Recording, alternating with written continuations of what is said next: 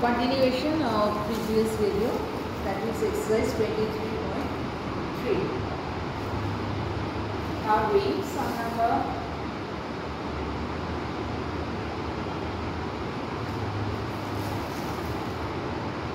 Ten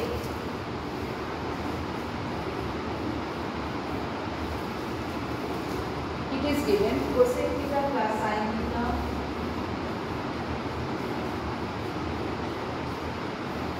by cosec theta minus sin theta equals to 5 by 3. Calculate the value of sin theta. So here again we cross multiply 5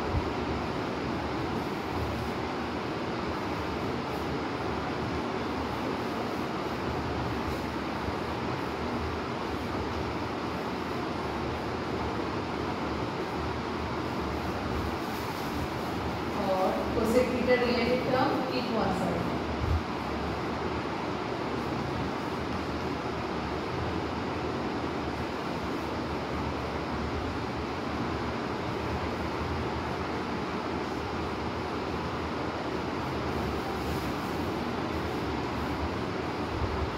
cosec theta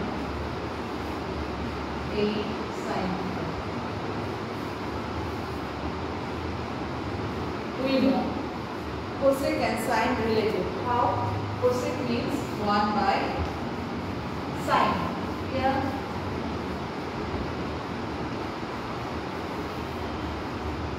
then sine square theta equals to 1 by 4.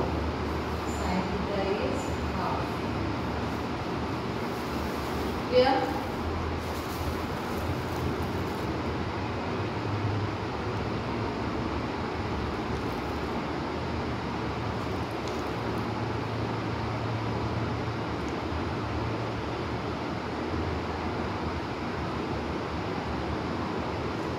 sine theta is then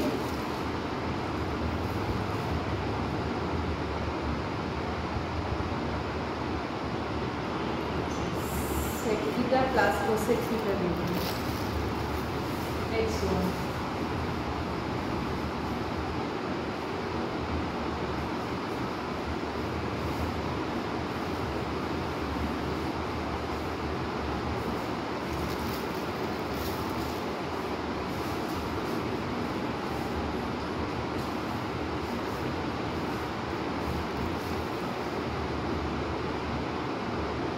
sec theta plus cos theta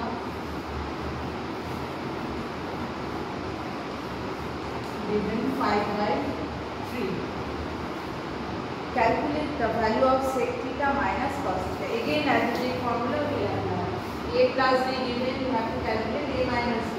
So we know A minus B whole square equals to A plus b whole square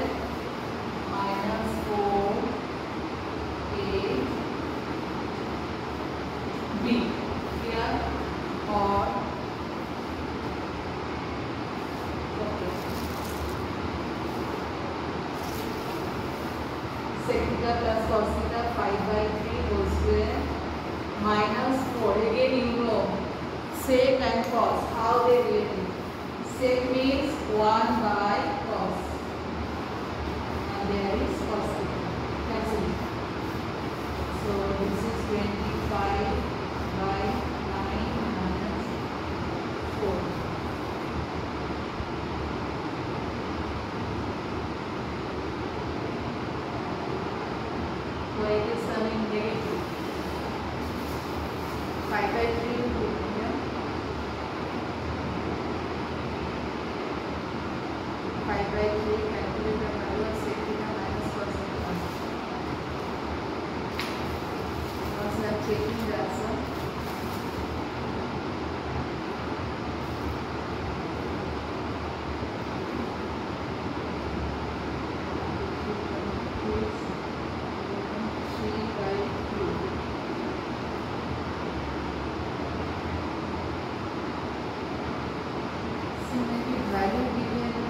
5 by 3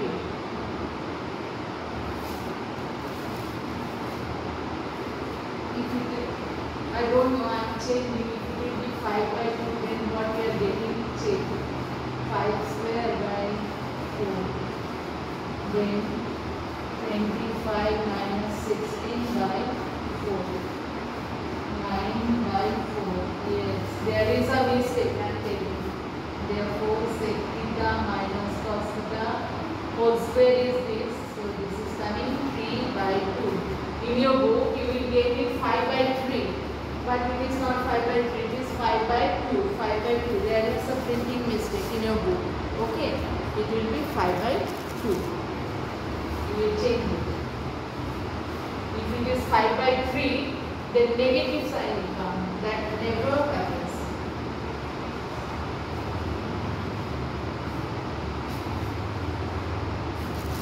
then next one number 12 calculate the value of tan theta from this relation. What is the relation? Phi sin square theta plus 4 cos square theta equals to 9 by 2 here I will apply one trick what is that? See First we cross multiply. 10, 5 is a 10.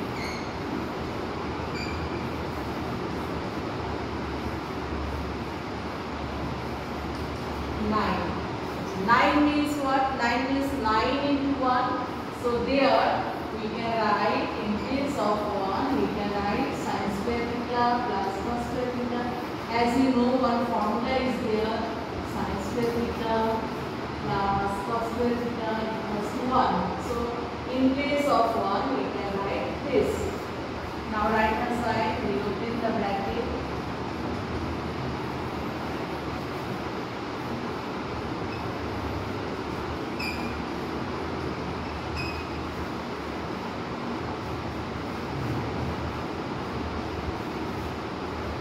Then,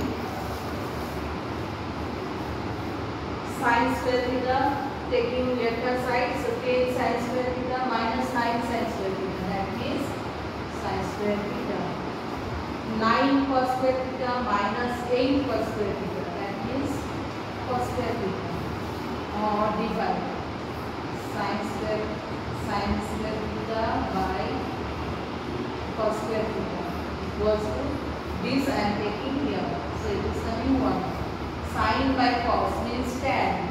So here we are getting tan square theta is 1. Therefore, value of tan theta is coming 1. Clear? Now next one you will get in next video.